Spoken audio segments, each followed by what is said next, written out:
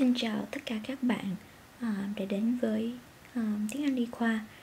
Hôm nay thì chúng ta sẽ học về atrial fibrillation hoặc là trung tâm nhĩ. Vậy thì chúng ta nên hỏi rằng trung tâm nhĩ là gì? Atrial fibrillation có nghĩa là gì?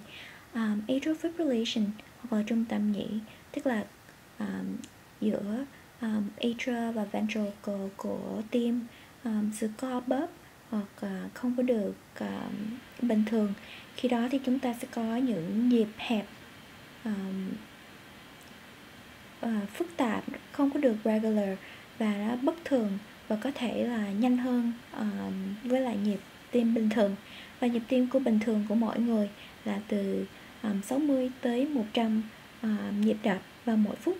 Thì um, atrial fibrillation là irregularly irregular narrow complex rhythm that may be rapid. Nó có thể nhanh. Um, atrial rate tức là tỷ lệ của nhĩ đập sẽ là trên 300 uh, ờ, nhịp đập mỗi phút. Um, và chúng ta khi mà nói với trung tâm nhĩ thì chúng ta um, nên rule out những cái bệnh lý khác như là atrial flutter hoặc là um, chúng ta sẽ không có thấy uh, những cái P waves uh, nhịp sống P, P rời rạc được uh, được ghi nhận. Um, atrial fibrillation trị liệu của trung tâm nhĩ thì như thế nào? Um, để mà đối với điều trị lâu dài thì chúng ta nên dùng beta blocker long term therapy beta blocker để mà chúng ta làm gì? Để chúng ta um, làm cho nhịp đập của tim nó được thấp lại control of the heart rate and atrial fibrillation both at rest and during exercise. Khi mà chúng ta tập thể thao và chúng ta khi chúng ta nghỉ ngơi. Hoặc là một cái loại thuốc khác như là um, chặn kali hoặc là calcium channel blocker và một thuốc mà chúng ta thường dùng rất là nhiều đó là diazepam thường thường thì chúng ta có thể um, làm cho nhịp tim thấp hơn um, khi chúng ta nghỉ ngơi hoặc là khi chúng ta tập thể thao. Nhưng mà để điều trị lâu dài thì beta blocker vẫn là uh, một thuốc có hiệu quả tốt hơn so với calcium channel blocker à, một loại thuốc khác nữa là digitalis. Chúng ta cũng có thể dùng à, để mà um, có hiệu quả hơn để chúng ta control the rate. Chứ là chúng ta làm cho nhịp tim um, đập một cách um, um, tốt hơn nhịp chậm hơn so với bình thường. Um, thì có một uh, cái um, nó gọi là chart score là một cái điểm chart ấy, chart á, khi mà chúng ta mà muốn dễ nhớ đến một cái um, cái vấn đề gì mà khó khó nhớ thì chúng ta dùng chart score. Chart tức là những chữ đầu của um, congestive heart failure là chúng ta bị suy tim ha. Hypertension tức là um, nhịp tim um, đập. Um, hypertension xin lỗi là huyết áp cao uh, và age over 75 tuổi trên 75 tuổi. Uh, D tức là diabetes à, và thứ hai là chúng ta là prior stroke tức là chúng ta bị đột quỵ um, hoặc là TIA tức là transient ischemic um, attack. Chúng ta um, bị thiếu máu ở trong não một một thấp ít nhất um, um, dưới 24 tiếng đồng hồ. Thì và sau đó thì chúng ta trở lại bình thường gọi là transient ischemic attack. Và prior stroke với lại transient ischemic attack thì um, có được cái cái nguy cơ um, cao hơn thì chúng ta um, cho hai điểm.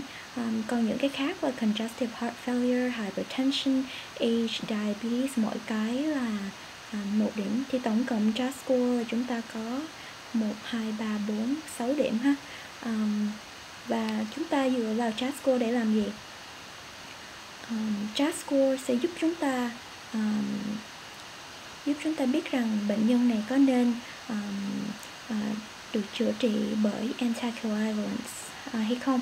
Và anticoagulants rất là những cái thuốc làm cho um, máu của chúng ta nó được um, nó không có nó được uh, đi.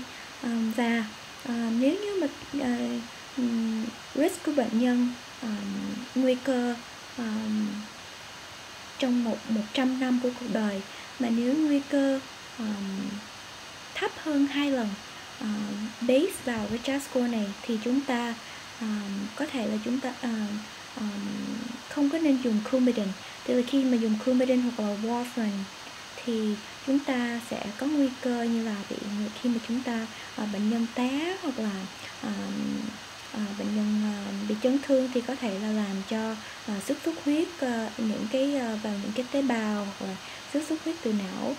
Bởi vậy nếu như mà chúng ta nghĩ rằng cái nguy cơ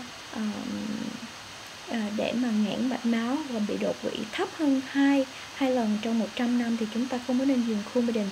Và nếu như mà cái nguy cơ bị đột quỵ cao hơn thế, hơn 4 bốn lần nguy cơ đột quỵ trong vòng 100 năm thì chúng ta uh, nên dùng warfarin hoặc là Coumadin thì CHAT score hồi nãy chúng ta có nói rằng CHAT score là um, tổng cộng là có được 6 điểm. Um, nếu như bệnh bệnh nhân không có điểm nào thì chúng ta chỉ nên dùng aspirin thôi. Um, những người lớn tuổi những người già thì nên um, dùng aspirin 81 mg uh, PO daily. Um, mỗi ngày thì dùng 81 mg của aspirin um, để cho làm cho máu nó được loãng um, và nếu như mình được một điểm trust score um, thì chúng ta gọi là có nguy cơ nó trung bình thì chúng ta nên dùng aspirin um, hoặc là warfarin hoặc là warfarin còn có thể gọi là war là coumadin. Um, nếu như mà cái score trust score nó trên 2 điểm tức là chúng ta Ờ, vào cái thời kỳ trung bình nguy cao vừa phải và nguy cao cao á, thì chúng ta nên dùng warfarin hoặc là coumadin để mà trị um, atrial fibrillation.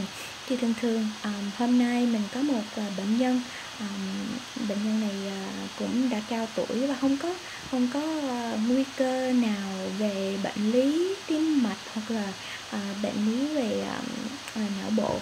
Do bệnh nhân này uh, bị té ngã um, thì chụp CT bệnh nhân không có bị à, um, xuất xuất huyết ở trong trong não bệnh nhân rất là bình thường. Nhưng mà um, um, uh, thì ở trong phòng cấp cứu thì uh, bác sĩ cấp cứu uh, thường thường uh, uh, làm uh, chụp uh, CT, X-ray, X-ray của bệnh nhân cũng vẫn bình thường, CT của cervical spine tức là CT của cổ cũng vẫn bình thường và CT của não vẫn bình thường, uh, nhưng mà bệnh nhân này lại um, khi mà chụp EKG, um, echocardiogram thì bệnh nhân này lại um, uh, thấy rằng có AFib tức là có thấy là nhĩ bị rung.